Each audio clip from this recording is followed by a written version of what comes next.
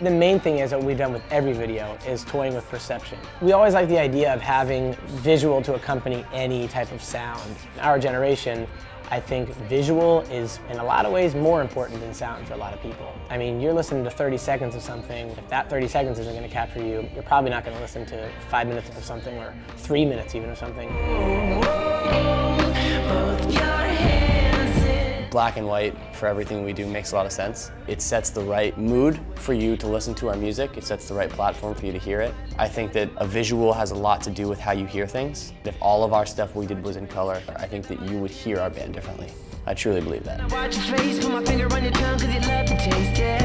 We released Just a Song in the video for Female Robbery with nothing attached because it was the first thing that we were going to put out and we really wanted the music to do the talking first. We just wanted just the music and the visual to go with it so people could form an opinion just off of that.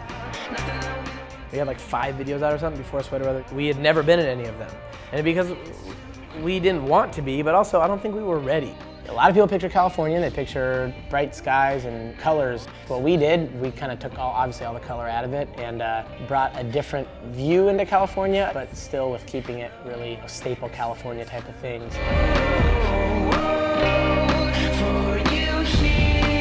People always say now bands nowadays, you can't just play music. You have to play music and know how to be a graphic designer and tour manage your own band and sell your own merch. And that's like what we do. The album art, the posters we put on Facebook, the pictures we take, the videos that we make. And we want to be this complete experience and this complete full package. We really have like a strong vision with this and there are people that are really supporting it.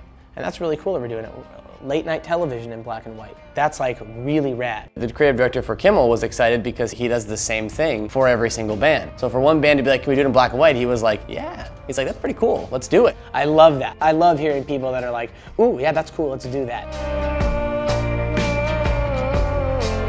We are a band who has a vision. That's part of the Neighbourhood experience. Let's do something new because everybody else has been doing everything else for so long. So let's do something new.